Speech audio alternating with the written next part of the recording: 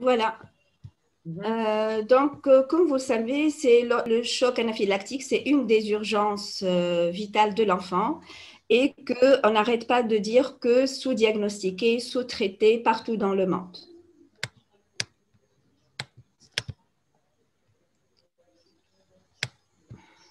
Donc, on va voir ensemble euh, le cas de Ryan, euh, c'est un petit euh, enfant de 2 ans, 2 ans et demi, qui est, qui est venu aux urgences pour une éruption cutanée prurigineuse avec trois épisodes de vomissement. Il est suivi pour une allergie aux protéines de lait de vache et aussi pour une allergie aux acariens. En fait, j'ai un problème pour changer les diapos.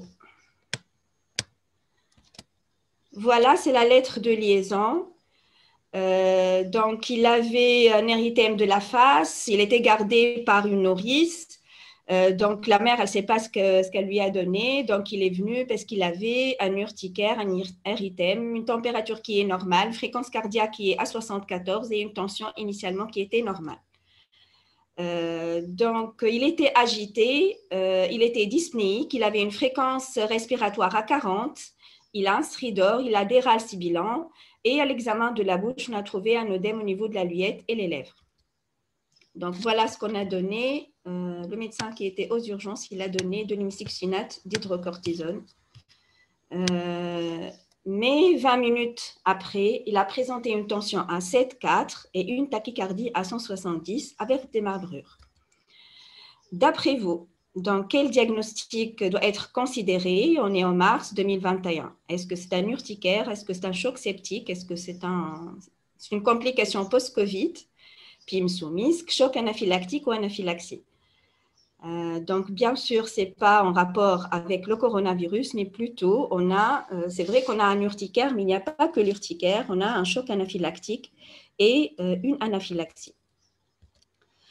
Donc, l'anaphylaxie, je pense, a été définie, mais juste pour passer rapidement, l'anaphylaxie, c'est une réaction euh, sévère, potentiellement fatale. Elle est caractérisée par une atteinte des voies aériennes euh, et ou hémodynamiques, avec ou non des signes cutanés. Et euh, avant, on a défini, on avait plusieurs définitions. Celle-là, c'est celle de 2005 et on l'a retenue jusqu'à tout récemment. Il y avait trois cas de figure. Et avec cette définition, on avait une sensibilité à 95 et une spécificité à 71. Euh, mais en 2002, euh, le World Allergy Organization euh, a élaboré des nouveaux consensus et guidelines. donc maintenant, on retient l'anaphylaxie avec deux cas de figure, avec des signes cutanés ou non. Donc le premier cas de figure, donc on, avait des signes, on a des signes cutanés avec un allergène, allergène qui, est, euh, qui est suspect ou euh, allergène qui est connu, avec un de ces signes, un de ces signes, c'est-à-dire des signes respiratoires, avec des signes respiratoires des voies aériennes hautes ou basses, une atteinte de la circulation ou des atteintes digestives. Ce qui dérangeait avec l'ancienne définition, c'est qu'on retenait les signes digestifs quand c'est persistant, mais euh, avec le mot persistant, ça, c'est une définition qui est un peu ambiguë parce qu'il faut agir rapidement. Donc là, on parle de signes digestifs sévères, sévères, douleur abdominale importante, plusieurs, épisodes de vomissement, euh, surtout un enfant qui est connu ayant une allergie. Deuxième cas de figure qui peut survenir dans euh, dans 15 à 20% des cas. Donc, il n'y a pas de signe cutané, mais il y a un de ces signes. Il suffit d'avoir un de ces signes, une atteinte circulatoire, euh, un bronchospasme ou une atteinte laryngée. Donc, on n'a pas cette ancienne définition, donc il ne faut pas obligatoirement avoir deux atteintes viscérales, atteinte respiratoire avec hypotension ou atteinte cutanée avec hypotension, atteinte respiratoire. Maintenant, il suffit d'avoir une seule atteinte pour retenir euh, une anaphylaxie. Pour euh, Ryan, donc, je vous rappelle, il a une allergie connue, une allergie protéine de lait de vache. Il est venu avec des signes cutanés. Ça a commencé l'histoire avec des vomissements, des signes cutanés des signes respiratoires au début, il a eu des corticoïdes, puis par la suite, déjà aux urgences, après 20 minutes, on a constaté l'altération de l'état hémodynamique. Donc, l'anaphylaxie, euh, c'est vrai que c'est une atteinte euh, qui est sévère, potentiellement fatale. Et en cas d'atteinte hémodynamique, on va parler du choc anaphylactique. Mais un fait qui est important, que le choc anaphylactique est aussi défini par une atteinte circulatoire, mais doit être aussi évoqué devant l'atteinte de deux organes par la réaction anaphylactique. C'est-à-dire, il suffit aussi d'avoir des signes euh, digestifs, une atteinte cutanée comme le cas qu'on avait des signes laryngés pour s'attendre à avoir une altération hémodynamique. Donc, il faut être vigilant quand on a des signes euh, cutanés avec autre atteinte viscérale. Donc, euh, on peut avoir une altération de l'état hémodynamique. C'est le cas de l'enfant Ryan. Et bien sûr, on va discuter du traitement aussi par la suite. Donc, c'est vrai que c'est un problème croissant et qu'on a parlé euh, certainement de mécanismes avec IgE médié, non IgE médié, et on sait qu'il y a une libération d'histamine et l'histamine va euh, déclencher une vasodilatation, une augmentation de fréquence cardiaque, et euh, c'est à la base du mécanisme du choc anaphylactique. Il y a normalement deux phases dans le choc anaphylactique. C'est un choc qui est distributif, donc une phase hyperkinétique qui survient dans les premières minutes avec une augmentation du débit cardiaque, puis une phase hypokinétique avec chute des pressions de, remplissage et diminution du débit cardiaque. Euh, donc, il y a le mécanisme IgE médié et non IgE médié. Ça, je vais passer euh, rapidement. Et le cas de notre patient, c'est une allergie aux protéines de laitrage. Euh, on a parlé aussi euh, donc, euh, des causes de l'anaphylaxie et vous êtes d'accord avec, moi que ce n'est pas les insectes chez l'enfant, ce n'est pas les piqûres d'insectes et ce sont essentiellement les aliments qui sont les premières causes, qui sont les premiers incriminés dans l'anaphylaxie et le choc anaphylactique. Euh, on sait aussi que le délai moyen entre l'exposition et l'anaphylaxie le choc anaphylactique, il est vraiment court. Donc, quand on a euh, une, injection, c'est 5 minutes, ça peut être 5 minutes. Euh, des, une piqûre d'insecte, ça peut être 15 minutes. Et des aliments, ça peut être en moyenne de 30 minutes. Donc, on revient à Ryan. Euh, donc aussi pour euh, rappeler, Dr Boussafar, elle a bien euh, mentionné que c'est essentiellement les atteintes, les détresses respiratoires sont au premier plan et sont aux alentours de 80% dans les anaphylaxies alimentaires. Dans, dans les anaphylaxies médicamenteuses, c'est l'atteinte cardiovasculaire qui est au premier plan et anaphylaxie immunoptère, c'est l'atteinte cardiovasculaire aussi. Donc, pour Ryan, euh, donc, euh, il avait des manifestations cutanées. Les manifestations cutanées seules ne constituent pas l'anaphylaxie. Pour l'anaphylaxie, il y a des atteintes cutanées, circulatoires, respiratoires, gastro-intestinaux, mais aussi on peut avoir des signes neurologiques.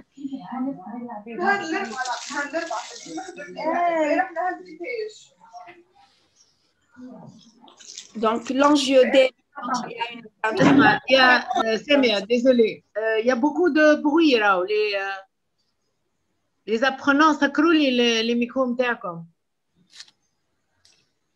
Voilà, vas-y Samia, désolé. D'accord. donc, quand il y a une atteinte muqueuse associée à l'atteinte cutanée, c'est l'angiodème. Quand il y a une atteinte laryngée, région laryngée, c'est l'œdème de Quick. Euh, on peut avoir bronchospasme, un asthme aigu grave et une atteinte circulatoire. Et comme vous le savez, la tension artérielle, elle dépend de façon physiologique, dépend de l'âge. Mais une notion qui est très importante concernant l'hémodynamique, que la pression artérielle systolique, elle est toujours tardive quand on a un état de choc chez l'enfant. Donc, il faut être vigilant aux petits signes. Euh, on peut avoir des marbrures, TRC allongées. Donc, il faut être vigilant avec ces enfants. Euh, les signes digestifs doivent attirer notre attention, euh, surtout chez l'enfant. Les signes neurologiques, on peut avoir aussi une hypotonie, malaise et léthargie. Pourquoi j'insiste sur ces signes? Parce qu'ils peuvent être des signes prémonitoires avant l'atteinte circulatoire. Donc, un fait qui est important, donc c'est vrai que l'atteinte hémodynamique existe chez l'enfant, mais elle dépend de l'âge et elle est surtout importante chez les adultes. Donc, en, ordonne, en abscisse, c'est l'âge. Il y a une augmentation avec l'âge de, l'état de choc, de la fréquence de l'état de choc. Mais on a plus des signes digestifs, donc comme le cas de Ryan, donc on a des signes digestifs qui sont fréquents chez l'enfant, donc les signes digestifs, les signes respiratoires. Donc, il faut être euh, attentif donc, à tous les signes d'hypoperfusion périphérique. Et il faut être aussi attentif. C'est pas quand on a, il faut pas se dire on n'a pas d'atteinte cutanée, donc il n'y a pas d'état de choc anaphylactique. Donc, il faut faire une enquête minutieuse, d'autant plus si on connaît l'enfant qui a des antécédents à un enfant qui est allergique.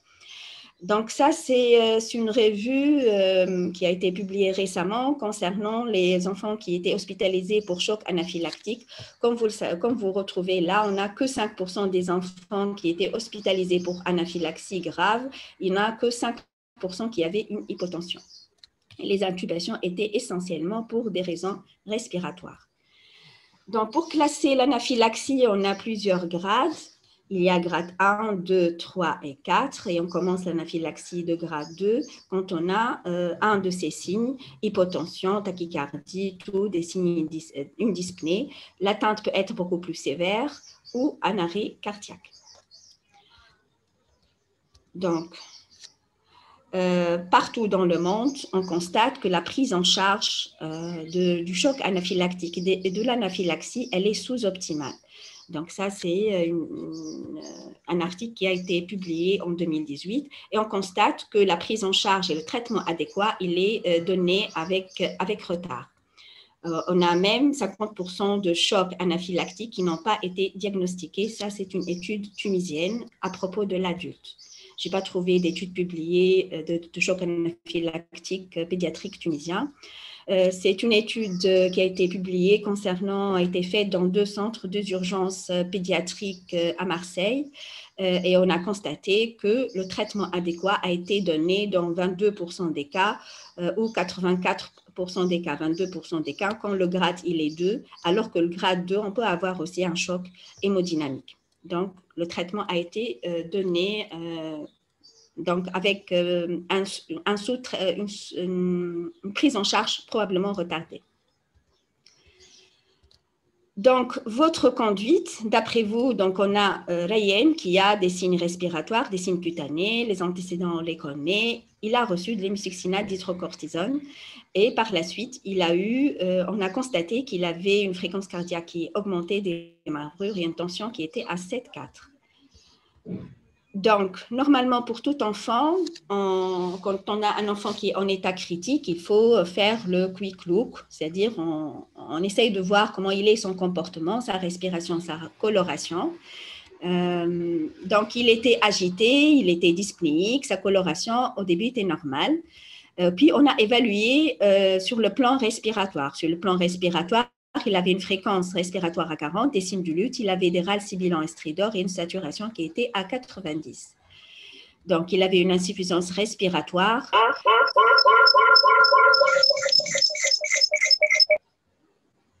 Donc, devant ces signes respiratoires, il faut mettre l'enfant en position demi-assise.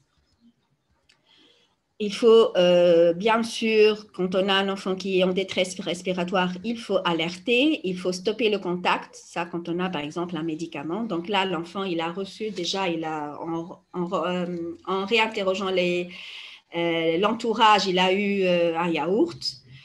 et il faut donner un médicament. Donc, on va le positionner. Euh, quand on a une dyspnée, c'est position demi-assise. Quand on a une altération état hémodynamique ou malaise, les jambes qui sont surélevées, et bien sûr, on va donner de l'oxygène. Donc, d'après vous, c'est corticoïdes, antihistaminiques, salbu, aérosol ou adrénaline. Quel est le plus urgent à donner?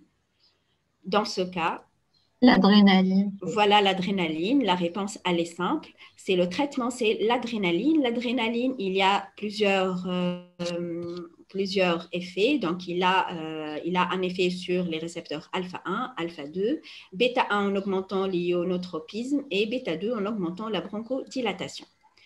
Et comment on va donner l'adrénaline En sous-cutané, en IM, en IV, face externe de la cuisse, dans le ventre, seulement s'il y a perte de conscience. Dès le grade 2, est-ce que c'est contre-indiqué, c'est antécédent cardiaque? Donc, on a parlé déjà, Dr Boussafar l'a précisé, on va donner en IM et euh, face externe de la cuisse. Et on va le donner aussi dès le grade 2, c'est-à-dire dès qu'on a une dyspnée, euh, comme le cas de, de il avait une dyspnée laryngée, donc il faut la donner. L'adrénaline, elle est indiquée quand il y a atteinte respiratoire, quand il y a une atteinte circulatoire. Et là, il faut faire attention, les signes digestifs peuvent être aussi annonciateurs d'une anaphylaxie. D'autant plus si on connaît, c'est un enfant qui a, été, qui a une allergie, qui a été hospitalisé pour une anaphylaxie. Donc, elle est indiquée pour toutes les anaphylaxies. Et euh, ça, c'est les recommandations françaises de 2016. Euh, il faut penser, euh, même s'il n'y a pas de signes cardio-respiratoires, avec des signes digestifs, l'intérêt de l'utilisation de l'adrénaline de façon précoce à évaluer avec le praticien qui connaît l'enfant. Donc, on va donner l'adrénaline, l'adrénaline en IM initialement, puis ça, c'est les recommandations quand on quand on avait la définition de symptômes euh, gastriques persistants, persistants, comme j'ai déjà précisé, que persistant, il faut une évolution dans le temps.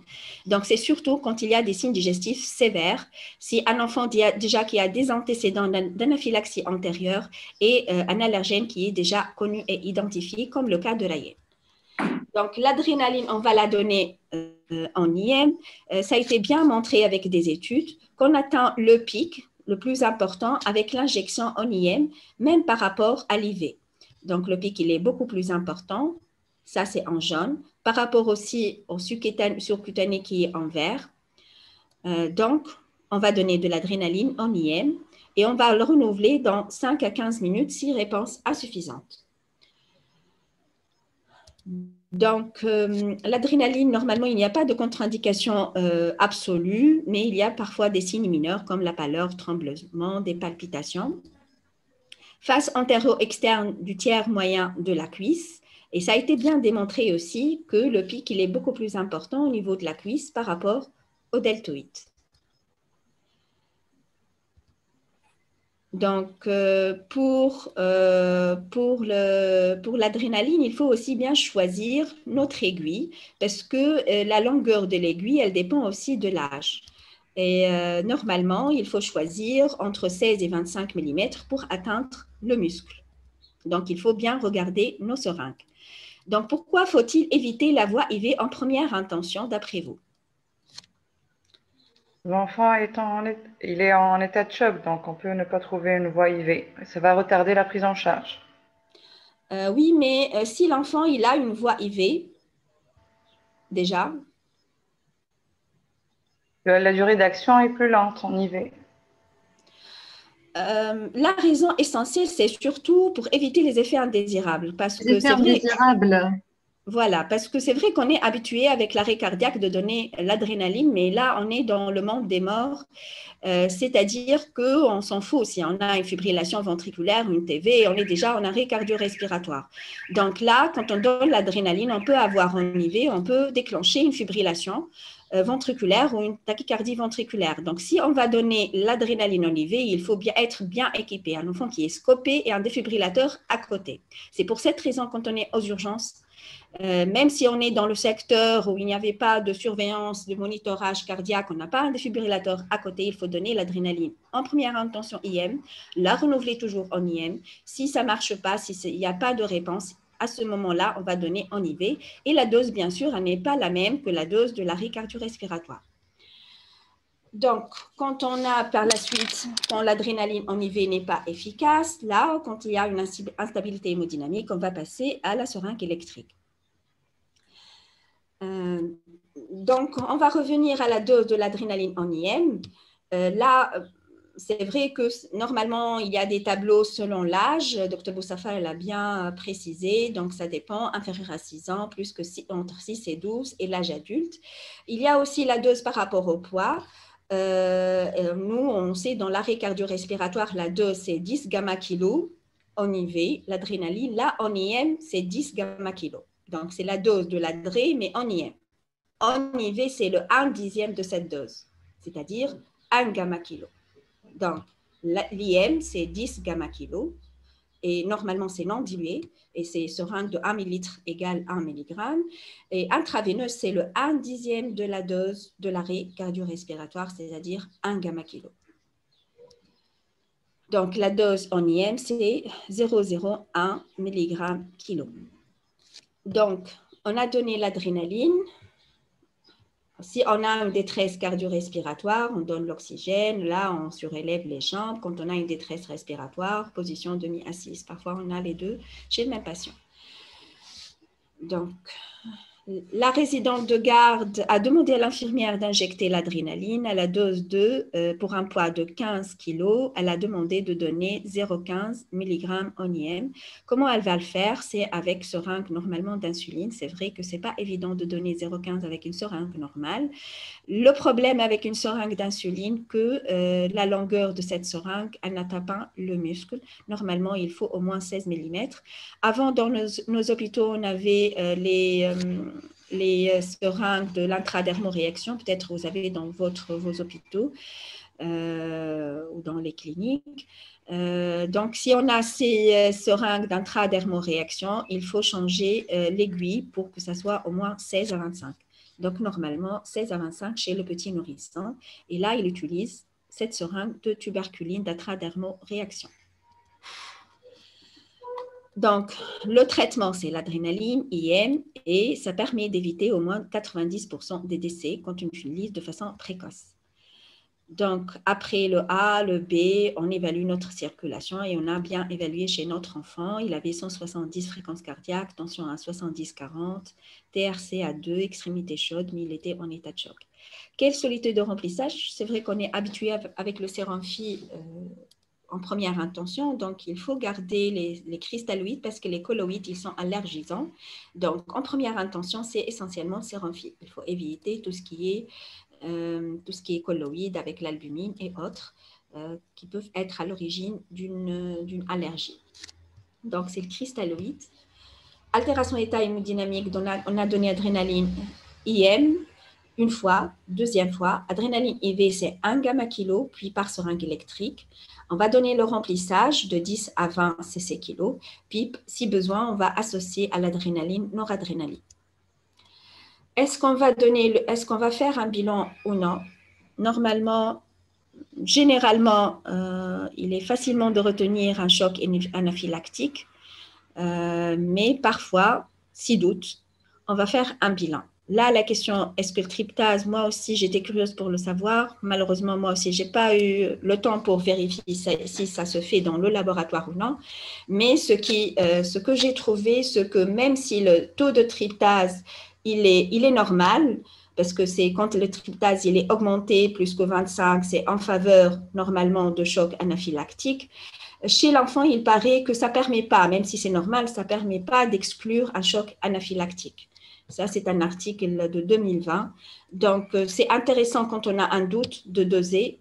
Euh, il faut qu'on se même poser la question au docteur Nib s'il en fait euh, l'hôpital, s'ils peuvent le faire ou le doser à l'hôpital d'enfants.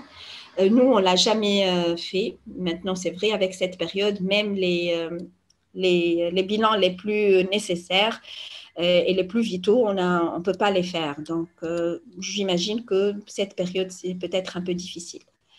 Euh, le diagnostic différentiel, généralement, c'est évident de retenir choc anaphylactique après les autres chocs. Euh, si on a une fièvre associée, donc on va suspecter choc septique, choc cardiogénique s'il y a des signes euh, d'un un enfant qui a une cardiopathie, un contexte particulier. Un syndrome quand on a un œdème de Quick, là on va à résipel de visage. Donc là, à ce moment-là, on va suspecter d'autres diagnostics. Donc, on revient euh, avec notre patient. Donc, là, on est arrivé à l'adrénaline IV. Maintenant, il y a parfois des chocs anaphylactiques qui sont réfractaires. Surtout, ça, c'est chez les adultes ou peut-être les enfants qui sont aussi sous bêta-bloquants. Ils peuvent être réfractaires à l'adrénaline parce qu'il y a un antagonisme compétitif sur le récepteur bêta. Euh, donc, à ce moment-là, on peut donner du glucagon. Aussi, il y a des articles qui parlent de que, qu'en cas de choc anaphylactique réfractaire, on peut donner du bleu de méthylène. Donc, ça, c'est euh, le protocole, euh, qui protocole qui a été publié en 2016. Quand, on a une atteinte cardiovasculaire, donc on a déjà vu ensemble le protocole, adrénaline première fois, deuxième fois, puis IV euh, et en continu. Et quand il y a une atteinte respiratoire, ça va dépendre s'il y a des atteintes de voie aérienne supérieure ou inférieure pour donner les nébulisations. Donc, euh, normalement, les autres traitements, on a donné des corticoïdes. Euh, normalement, les autres traitements ne doivent pas retarder l'administration d'adrénaline. Euh, là, je reviens au, l'algorithme qu'elle a déjà montré, Dr Boussafara. Là, on, se retrouve avec un enfant qui, avait, qui a un état de choc hémodynamique, mais aussi un stridor. Avec le stridor, atteinte des voies aériennes supérieures, on va donner euh, aussi euh, de nébulisation adrénaline et nébulisation corticoïde. Si on a des signes euh, wheezing, des râles sibilants qui sont importants, on peut passer au bêta-2 mimétique. Et là, là, on a les corticoïdes, les antihistaminiques sont vraiment en troisième ligne. Donc, ce n'est pas en première intention. Donc là, on a parlé des aérosols. Dans la majorité des guidelines, les corticoïdes viennent comme troisième ligne de, l'anaphylaxie.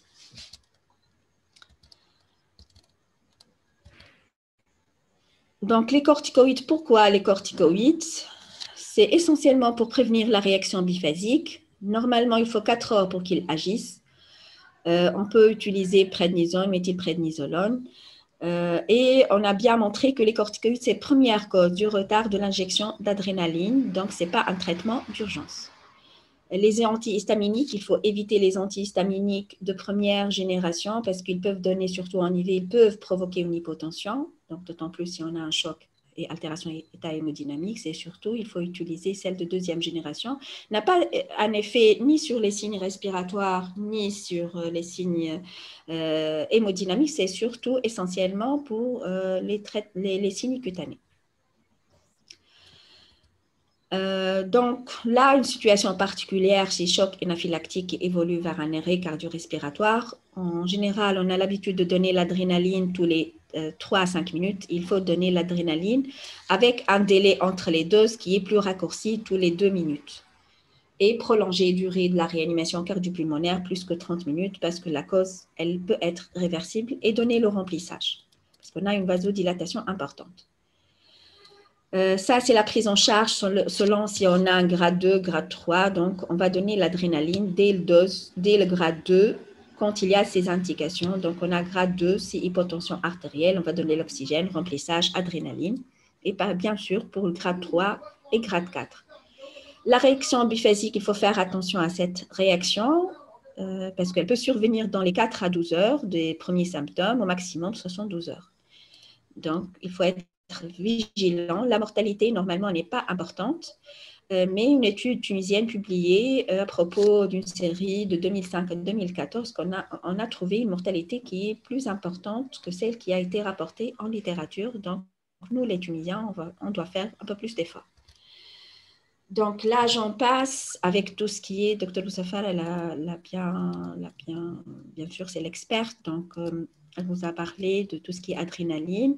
Là, j'ai vraiment une question, en fait, c'est plus une question de, de discussion.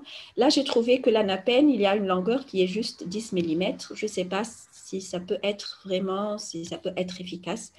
Euh, ça, c'est juste une question que je me pose. Avec une longueur de 10 mm, est-ce que ça peut atteindre les muscles? Donc là, c'est pour résumer. Euh, le traitement d'urgence, c'est essentiellement l'adrénaline IM, c'est 10 gamma kilo, première fois, deuxième fois, un délai de 5 à 15 minutes selon la réponse. Troisième fois, c'est adrénaline IV, mais c'est le 1 dixième de la dose de l'arrêt cardio-respiratoire, c'est-à-dire 1 gamma kilo. Puis par la suite, bien sûr, on va donner l'oxygène, le remplissage, les cristalloïdes en première intention. Euh, les corticoïdes ne doivent pas retarder la prise en charge. Là, on va revoir donc, les étapes. Donc, il faut toujours avoir un protocole écrit de choc anaphylactique quand on a, par exemple, un, allergène, donc il faut le stopper, par exemple, médicaments, vancomycine ou autre euh, donc il faut l'arrêter. Il faut l'évaluer l'enfant avec le ABCDE. Il faut euh, être en équipe pour agir, donc il faut l'alerte, l'adrénaline IM, euh, surélévation des jambes, liberté des voies aériennes, oxygène, deuxième fois adrénaline, puis par la suite IV. La voie d'abord, bien sûr, dès ce stade avec l'IV, remplissage, sérum-vie, 10 ml kilo. Si ce n'est pas encore efficace, 10 à 20. Donc, si ce n'est pas encore efficace, là, à ce moment-là, on va passer à l'adrénaline, euh, l'adrénaline en continu. Dans le cas d'arrêt cardio-respiratoire, il faut bien sûr réanimer et le délai entre euh, entre les doses d'adrénaline doit être beaucoup plus raccourci.